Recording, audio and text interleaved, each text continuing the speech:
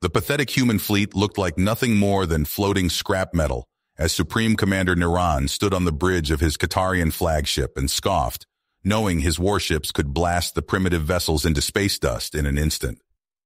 His subordinates chuckled along with him as he remarked how this ragtag group of relics was no match for the might of the Qatarian armada. Admiral Adams, urgent transmission from orbital defense, massive alien fleet inbound, technology far beyond ours. Scans show we're severely outmatched, sir.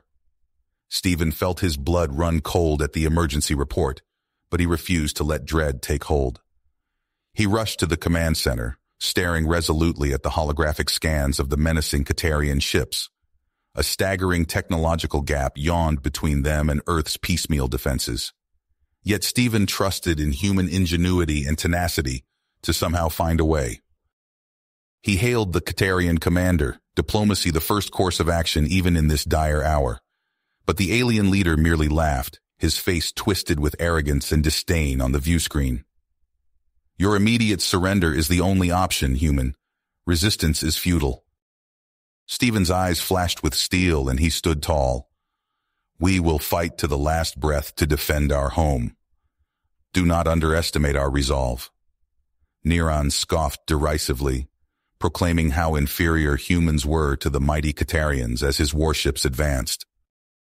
As the enemy bore down on Earth, Stephen knew the time had come. He gave the order to bring humanity's ace in the hole online, a cutting-edge AI defense grid that could link their ships into an adaptable fighting force, designed in secret by Earth's greatest scientific minds for this very contingency. When the system booted up, the human fleet began moving with stunning precision, as if controlled by a single mastermind. Auto turrets locked onto targets with flawless accuracy. Drone swarms overwhelmed point defenses, Cyber strikes sliced through the aliens' vaunted shields. The Qatarians reeled, suddenly outmatched by the very ships they had just mocked. Niran bellowed with rage as sirens wailed on his bridge, a panicked officer reporting the humans had breached their central computer.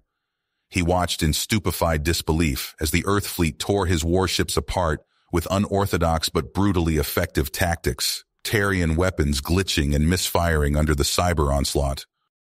Though outnumbered and outgunned, the grid of Earth's spacers shone through as they pushed the AI-boosted counterattack. Pilots accepted that they might die so humanity could live. Damage reports flooded in, and Stephen's jaw tightened, the price of survival tallying higher with each ship lost. The Qatarians reeled as their arrogant preconceptions shattered. They had grievously underestimated their adaptable, indomitable human foes. Niran faced a momentous decision as the tide turned before his eyes. Keep fighting against these maddeningly resilient humans, throwing lives into the grinder of their improbable stand, or salvage his battered forces and retreat before the Terrans could seize the initiative and end his campaign in humiliating defeat. The Qatarian commander snarled, fist shaking with rage as the choice loomed before him, and the unthinkable reared its head humans sending the Qatarian collective running. Uh, Admiral Stephen Adams raced between command stations in the sprawling underground bunker serving as Earth's impromptu nerve center. The waning hours before the Qatarian juggernaut arrived had become a mad scramble of desperate improvisation. On wall-spanning monitors, real-time feeds showed Earth's moon-based shipyards operating in overdrive. Skeletal frameworks of battle cruisers took shape at breakneck speed, swarmed by the sparks of a thousand robotic welders. Assembly lines disgorged wave after wave of freshly minted combat drones, their sleek forms overflowing with the latest in human weapons tech. Drone production at 250% of nominal rates and climbing, sir, an engineer reported from her console.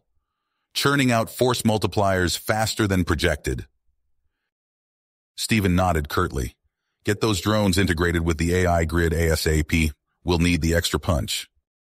In an adjacent lab, disheveled scientists hunched over jury-rigged prototypes, racing to decode and repurpose Qatarian technology recovered from the initial skirmish.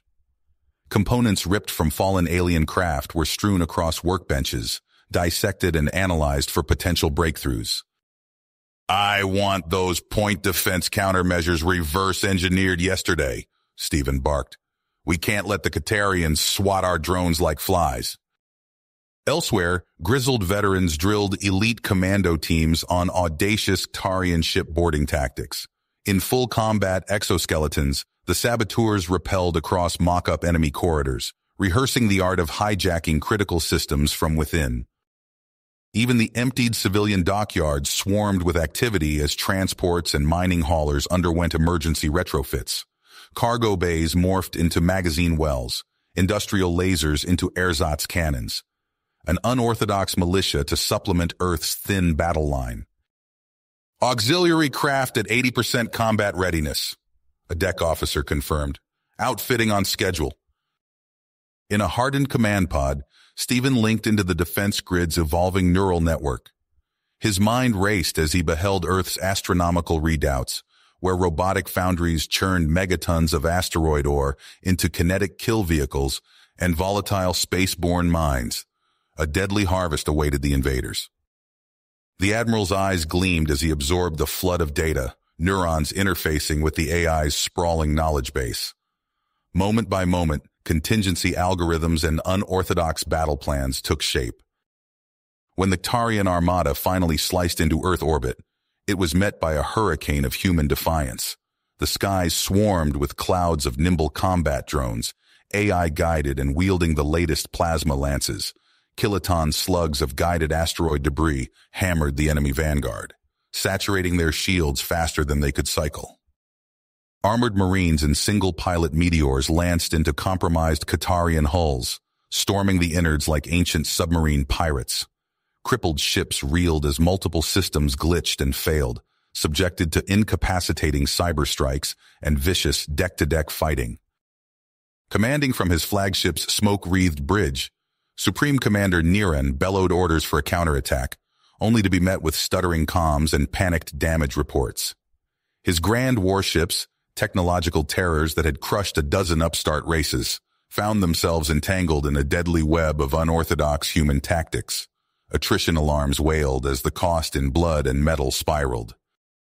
Incensed, Niran ordered a hunter-killer squadron to pinpoint and eliminate Stephen's command ship. Surely beheading the human resistance would crush their insolent defiance. But his search and destroy craft found only human feints and ambushes. The elusive admiral always one step ahead, baiting pursuers into kill zones of converging fire. As the toll of shattered ships and mangled crews mounted with appalling speed, Niran began to grasp the deadly truth.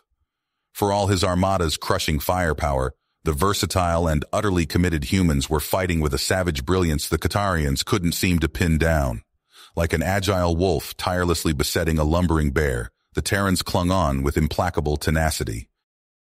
Yet even as the Qatarian onslaught slowed in the face of escalating losses, Earth bled grievously too. One by one, Stephen's intrepid ships winked out in blossoms of fractured metal, buying mankind's survival with their lives. The carnage swelled unimaginably as the battle raged, neither side yielding. Admiral Adams's face was a mask of torment as casualty reports flooded in, friends and comrades lost. But at any expense, he swore Earth would stand. Admiral Stephen Adams paced the bustling command center, his mind racing. The battle for Earth's survival raged on, but a glimmer of hope emerged. Years of studying Tarian tactics had revealed a crucial weakness, their rigid power structure. Stephen's lips curled into a grim smile. It was time to exploit that weakness. Sir, Infiltration Team Alpha is in position, a comms officer reported. Stephen nodded. Execute Operation Trojan Horse. Aboard a crippled Katarian destroyer, human commandos in exosuits clambered through jagged hull breaches. Plasma bolts sizzled past as they fought room by room, inching closer to the central computer core. Hostiles ahead, Team Leader Rodriguez barked. Suppress and advance.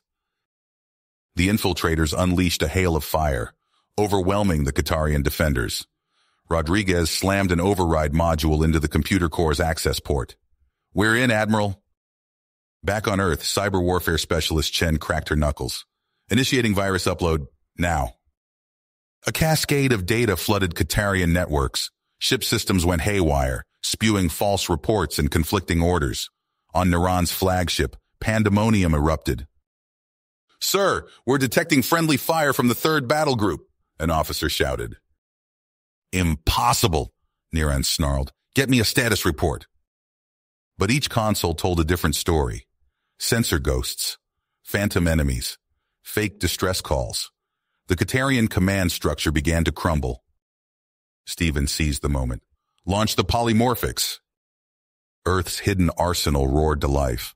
Swarms of shape-shifting warheads streaked toward the Catarian fleet. Their liquid payloads morphed and adapted, slipping past bewildered point defenses to breach enemy hulls. Niran bellowed in frustration as explosions rippled across his armada. How are they penetrating our shields? But worse was yet to come. Stephen gave the order. Detonate the hypermatter charges. Rigged asteroids detonated at key points in the Catarian formation. Space itself seemed to buckle and tear. Entire squadrons found themselves cut off, adrift in the chaos. Catarian discipline shattered. Captains ignored orders, fleeing or fighting at will. The mighty invasion force devolved into disorganized clusters. Stephen watched the enemy fracture, his expression hardening. They'd struck a critical blow, but the war was not nearly finished. Earth's battered defenders pressed the attack, seizing this fleeting advantage. The fate of humanity hung in the balance. Stephen knew the next moves would determine everything. Stephen's eyes narrowed as he watched the tactical display. The fractured Catarian fleet presented a fleeting opportunity, one he couldn't afford to waste. All units, this is Admiral Adams, he broadcast. Redirect all reserve combat drones to Vector 117 by 42. Target, the Qatarian flagship. Execute now. A chorus of acknowledgments rang out as swarms of sleek, deadly drones surged toward their new objective. Stephen zoomed in on the enemy command ship, its shields flickering erratically from previous battle damage. The first wave of drones struck like a thunderbolt. Tarian point defense guns spat streams of plasma, swatting many from the sky. But for each drone destroyed, three more took its place. They swarmed over the hull, searching for weak points. Breaching charges detected, a sensor officer called out. Multiple hull ruptures imminent. Stephen leaned forward, tension evident in every line of his body. This was the moment of truth. A series of explosions blossomed across the Catarian flagship's surface. As the smoke cleared, a massive hole gaped in its armored flank. Stephen allowed himself a grim smile. Phase 1 complete. Second wave, you are clear to deploy, he ordered. Happy hunting. From the bowels of Earth's orbital stations, a new breed of drone emerged. Bulky, armored monstrosities filled with weapons. The hunter-killers had arrived. They poured through the breach like a tide of metal and malice. Stephen watched their progress through their own optics, wincing as Tarian defenders were cut down in droves. The infiltrators moved with ruthless efficiency, not slowing even as some of their number fell to desperate alien fire. Warning klaxons blared across the command center as the drones neared the Catarian bridge. Stephen's breath caught in his throat. This was it. The final blast door exploded inward. Through the infiltrator's cameras, Stephen saw Supreme Commander Niran, defiant to the last. Their eyes met across impossible distance, mutual understanding passing between them in that frozen moment. Then chaos erupted. Weapons fire filled the air. The feed dissolved into static and screams. We've lost contact with the infiltration team, an officer reported. Wait, sir, I'm detecting a massive power surge from the Tarian flagship. Their reactor's going critical. Stephen watched impassively as the enemy command ship tore itself apart in a series of cataclysmic explosions. Debris rained across the battlefield, peppering Earth's battered skyline. All around him cheers erupted as the tide of battle shifted decisively. But Stephen remained silent, his face a mask of stone. The cost of victory took a toll upon him. As reports of Catarian surrenders flooded in, Stephen found his gaze drawn to the scarred face of his homeworld. The scars of this conflict would not soon fade, neither for Earth nor for himself. You have reached the end of the story. If you enjoyed this story and want to support us, please leave a like and subscribe to our channel, and for every comment that says 88, I will heart every single one of them. Thank you for your time.